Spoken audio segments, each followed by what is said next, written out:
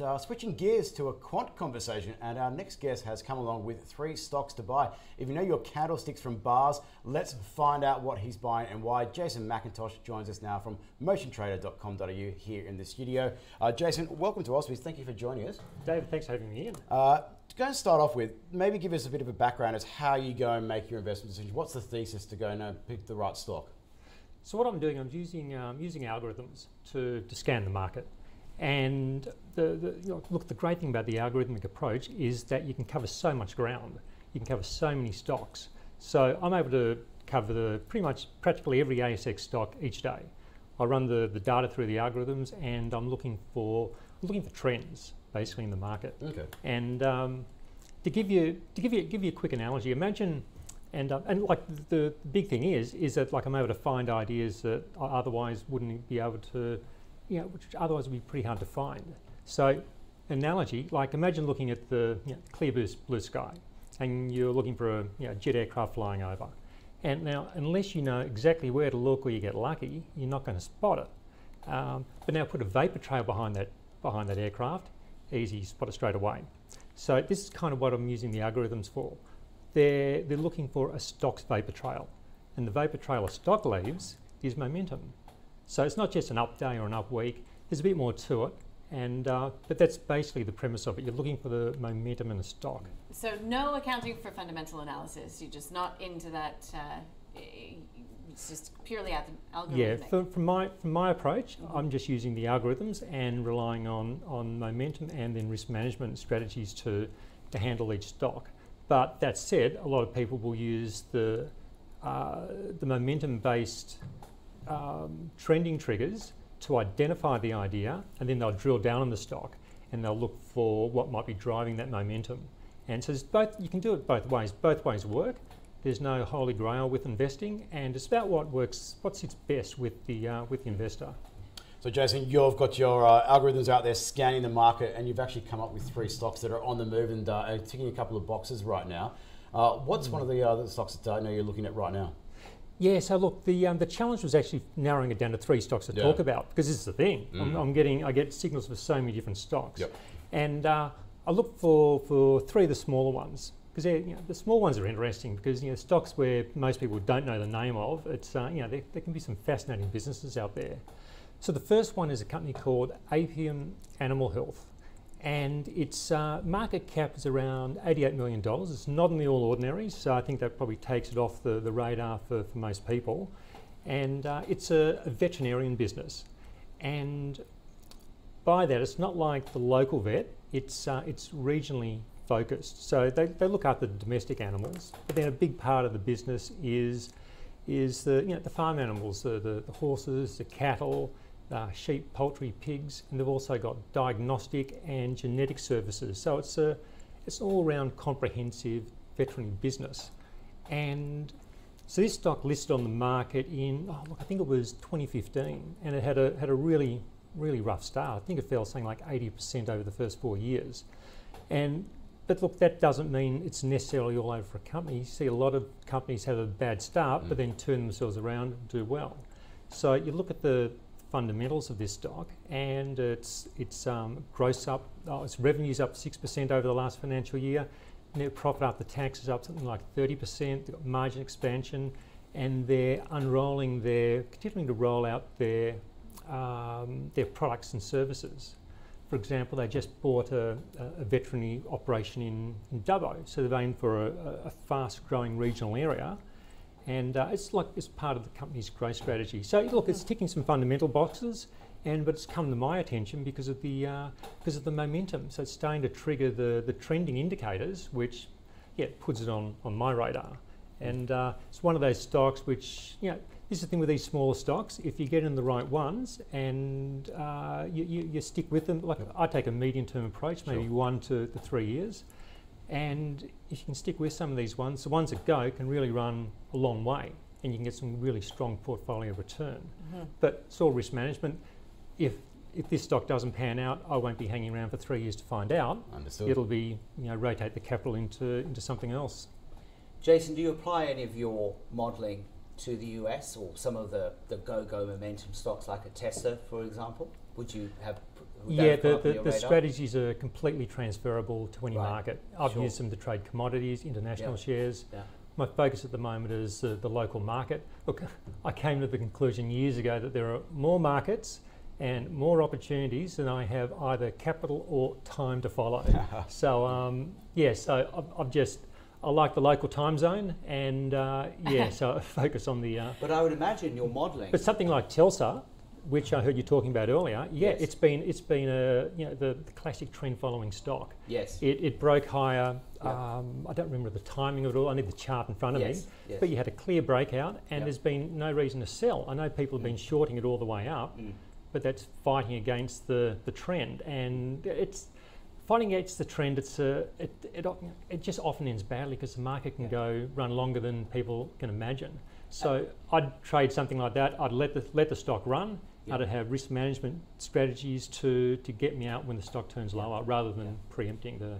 And do any, does, does your modelling actually uh, enable you to go short? So, I mean, once that momentum peaks and it starts that classic parabolic kind of blow off phase, and then it reverses violently oftentimes. And we go back to 99, 2000, I'm sure you were Mm. active in the markets at that time. I mean, some of those classic reversals were, you know, of historic uh, scale. Yeah, yeah. So would your model then say go short at those levels or just get you out?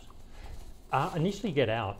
Like back in the um, back in the, the, the dot com boom, I was all for preempting tops back in those days, Right. and uh, learnt my lessons that I'm better to, Right. to wait for a market to actually peak and roll over, Yes. and then get in as momentum to the downside continues to build, and again use risk management strategies to get out if uh, if things reverse, and then let the market fall as it does. So I don't actively trade stock short. Uh, the the risk reward profile is not as good as trading long. Mm. Most of the stock can fall is 100%. The most it can rise is infinite. Right. So It's I- asymmetric. it is. asymmetric. So it's very much looking for that that, that asymmetric angle, as you, as you say, Yes. and that comes better on the long side than the Yeah. uh, than the short side. Yeah. But it can be good looking for those indicators to know what stocks to stay out of. Yes. So rather than try to pick the low in, in Yeah. AMP over the last few years, the trending indicators have been strongly down. Stand back, let That's it right. fall, wait for it to base, wait for it to turn higher. Should that happen, and then Yeah. the, the risk reward starts to move into your It's a wonderful complement to risk management strategies, isn't it? That form of, I call it technical analysis. Mm. Yours is slightly more sophisticated.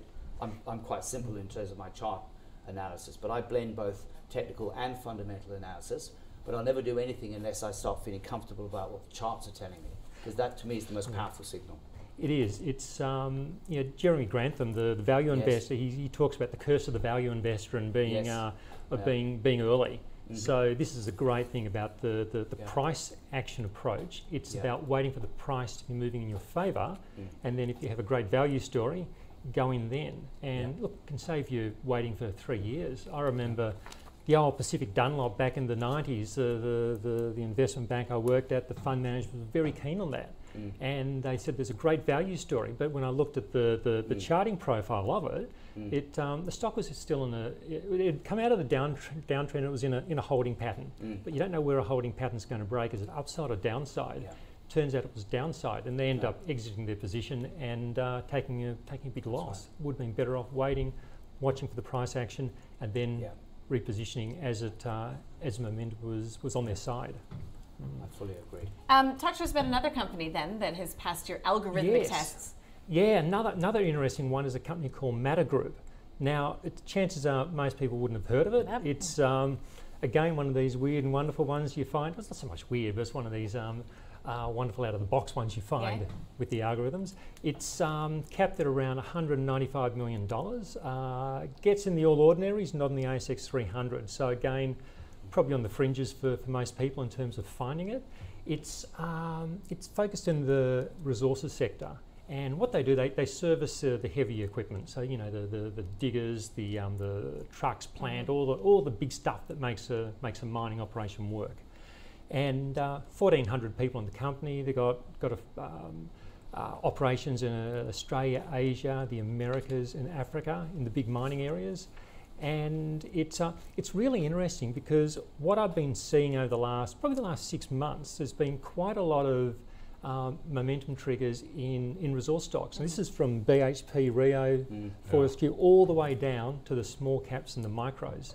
So it's not everything with the miners going up by any means. It's still, you've got to find the right ones. But it is really looking like a, a, hot sector for, for, for opportunities. And um, I think over the next, maybe the next one, two, three years, we could really see some interesting stuff in the resources sector with what's happening in, you know, worldwide with infrastructure and um, um, modern monetary theory and all, all this sort of stuff. So I think there's a, a positive backdrop. Yeah. The it's showing up in the momentum of a lot of stocks and a company like Mader, which is, um, you know, we talk about, you know, you buy the, the guys who sell the picks and shovels to the miners, you can make money doing that. These guys are going out and fixing the picks and shovels. so if, Yeah. if, if we get an uplift in that sector, Yeah. it could be a good way to good way to play it. Not only that, but when there is a turn in the economy mm. eventually, instead of going out and buying new ones, mm. everybody starts fixing their old picks and shovels, right? There you there go. you go. Do you agree with the assessment uh, about you know picking and choosing amongst these resources names as in just because we're seeing this rotation from growth into mm. cyclicals it doesn't mean all are created equal where do you look most favorably No, I don't think they're all created equal, but I want to just really zero in on Jason's point here. I, I'm, I'm beginning to feel, and I'd love to hear your perspective mm. on whether the charts are confirming this, that we could be seeing a bit of a commodity super cycle boom taking place here. We've certainly got the monetary and fiscal ingredients, we've mm. got the policy environment, and we spoke earlier, Nadine. Mm-hmm. Which central bank is going to be the first one to raise rates? They don't want to go down in history as ruining the global economy. Politicians are now all populists and economic nationalists. There's no such thing as uh, um, any concern about deficits. So we've got politicians and central banks joined at the hip, all stimulating. We get a vaccine, hallelujah, we get takeoff. And surely that's the right environment for a commodity super cycle. I think you could be right. It's um, interesting. I saw a, saw a fascinating chart uh, not long ago. It was a ratio of um, of a Yeah. commodities index to the. S and P, and it's at it's at multi-decade lows. Yeah. And, and you can see how cyclical these things are. Mm. That that um, real asset-based uh, commodities will have um, periods where they outperform financial assets like um, Mm. you know, S&P stocks, and then periods where they where they where they fall out of favour. And it just rolls. It rolls like the waves. Mm. And so now we're down in one of those troughs, and at some point, it almost seems inevitably at some point, timing's always, you- you Mm. can never know Mm. that, but it does seem like the, the risk reward is looking quite favourable. And uh, yeah, it's a really interesting sector, I think, to watch. Mm. There's, there's a lot of stuff going on with the, like, um, are we going to be seeing inflation over the next few years? Do we Mm. have a, a is, are the markets setting themselves up for Mm. that with the way central banks now now handling every every crisis? It's it's really like pump the money in. That's been Mm. that's that's been the playbook for a long time, and it's worked. And they've been emboldened by the last last um, last bout of um, weakness we've had. Can't see that changing, and that has to be. I think that's probably a positive for for commodities. Mm. Jason, we're starting to run a bit short on time, but uh, your last pick is one that I know that a lot of people who are watching this program will know. Raiz is uh, also come on your radar, the mate Raiz Invest. Yeah, yeah, really interesting one. It's only only capped at seventy-eight million dollars, so it's you know, it falls well short of getting into the um, the all ordinaries. Uh, it's um, it's a, a micro investment uh, business. So what, what they've got, they've got a, an app that they're they're targeting to the Mhm. millennials, um, and the idea is that you, they can a user can trans- automatically transfer small amounts of money from their from their linked account into um, the, the investment Yep. portfolio, and then it goes out to ETFs. Mhm. And uh, they've got this really interesting feature where they call it roundup. So every time you buy something, they round it up to the nearest dollar, yeah and that, and the change, the virtual change, then gets sent off to the ETF. So it's meant to be a, a, a simple and painless and easy not way profitable but you still Not your yet. algorithms are still saying it's a go and that's Not- momentum.